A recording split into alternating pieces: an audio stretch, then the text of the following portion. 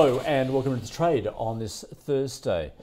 Well, let's uh, first take a look at what uh, uh, international news is revealing at this point. and Japanese authorities seriously concerned and on high alert about the yen's rapid decline, saying that the uh, currency's, uh, well, in fact, the currency's top uh, diplomat there, uh, Masato Kanda, uh, escalating warnings that as the currency languished its weakest level in almost 40 years. The biggest US banks also would have enough capital to withstand severe economic and market turmoil, as according to the Fed Reserve's annual stress test showed. Uh, but uh, firms face steeper hypothetical losses this year due to riskier portfolios.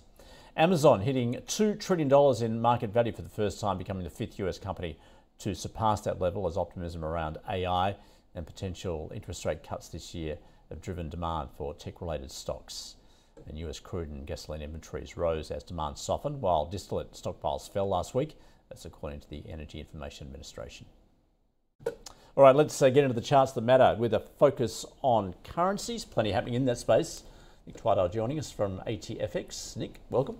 Thank you very much. Of course, big focus on the yen. I mentioned there at the top, uh, Japanese authorities seriously concerned so they're talking the talk. Are they walking the walk yet? Well, not yet. No. So I think that's and and after last night's move through that magic 160 level, which proved to be not so magical in the end, um, we've approached 161 and we still haven't seen any action from them. But um, I think what a lot of people are looking for is, is that rate of ascent in the dollar yen, and if it does start to speed up, then I think they will come in. Um, what a lot of people in the market are looking at now is, is of course, we've got the PCE data in the US tomorrow. And, yeah. and there's almost this um, school of thought that, that Japan, the MOF, and the BOJ are hoping that we're going to get a lower print for PCE and that's going to drag the dollar down a bit. But most people don't think, even if it's a slightly lower print for that PCE inflation data in the US, that it's going to take away that trend too much from dollar yen because there's, I think there's 75 ticks in a, in a month at the moment um, to be earned by being long of your dollar yen. Um, and you know, I've, I've, brought this trade out for you. I think this is the first time I've ever brought a trade out going that far back for everyone yeah, here at Ausbiz. Um, so yeah, it was a little bit of a little bit of an exercise that one, but it just goes to show you. I think we're at 38 year highs all the way back to those. I think they're 1986, that far end of the uh, yeah, wow. far end of the line. Um, and like these are huge levels, so there's no doubt about that. I, I think if we don't see too much change from data coming out we will see the, the, Bank of Japan come in for the MOF at some point soon. Um, I think if we do get a stronger print in PCE, they will come in and they will knock it down and they'll knock it down hard. Well, we might just say we've got the hourly up there, but do they have a line in the sand then, as such? I don't think there's a line in the sand, but I think if we go anywhere near the 165 level very quickly, then then they will come in. I think they're happier seeing it, just the rate of descent for the yen, um, they need to slow it up. And they're kind of like, it, and obviously there's been a hell of a lot written about this this week. It, it's like they just, they're kind of waiting for Fed interest rates to come about. Um, I think they've also got an opportunity coming up at their next meeting as well, which, which we were waiting for them to cut back on their QE.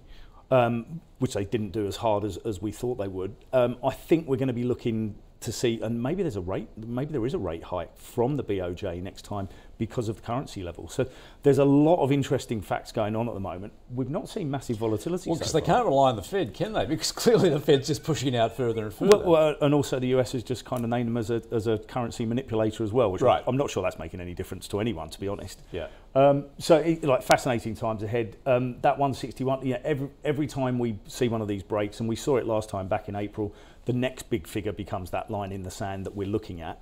Um, but, but 160 broke nice and easily last night. Meanwhile, Nick the Aussie. Yes. Now, off the back of that hotter than expected inflation read yesterday, what are you seeing there at the moment? With obviously this is increasing the possibility that the RBA could in fact hike rates again. I, I, think looking solely at that inflation number that they will hike again. I think there's one more in them now, um, and I'm I'm kind of jumping on the bandwagon probably a little bit too late. Um, but once again, for the Aussie dollar, I think we talked about it last time, we're kind of stuck between two central banks that are both relatively hawkish relative to the rest of the world. So Um, I think I hit a, a few weeks ago. It was like I think you want to play the Aussie from a long side uh, on the crosses, and they are starting to break the crosses as well. So I should have brought a few charts. It's very rarely I get it right from week to week with you. Um, but for the Aussie dollar, I think we're going to be kind of range bound as well. But a key indicator will be, and I'll come back to that PCE number because we know that's the Fed's favoured inflation data if we get a decent move in that PCE, it's that dollar side of the equation that's going to move the Aussie rather than the Aussie side. Um, the the the perfect storm, of course, would be a much lower print for PCE after we've just had higher CPI.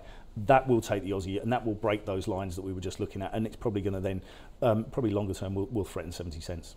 All right, and then what? Do we wait for? Well, I guess the, the key for the RBA ahead of its next meeting is that uh, quarterly inflation print at the end of July. Yeah, I think so, and, and, and probably the RBA and most householders are hoping for a little bit of a lower print.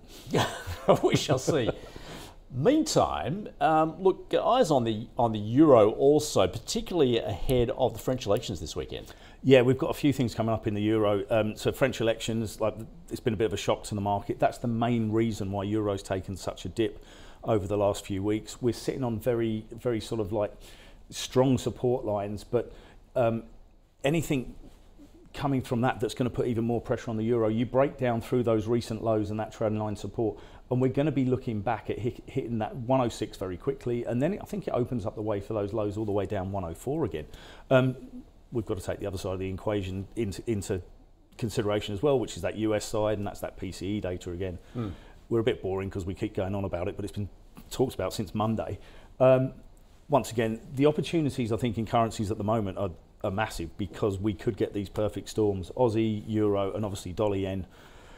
Trading intervention or non-intervention is probably the way forward, but for that, I'd still favour buying dips over the medium term. Well, Nick, and obviously traders are loving the volatility. We are, yeah. Nick, thanks so much for joining us from ATFX.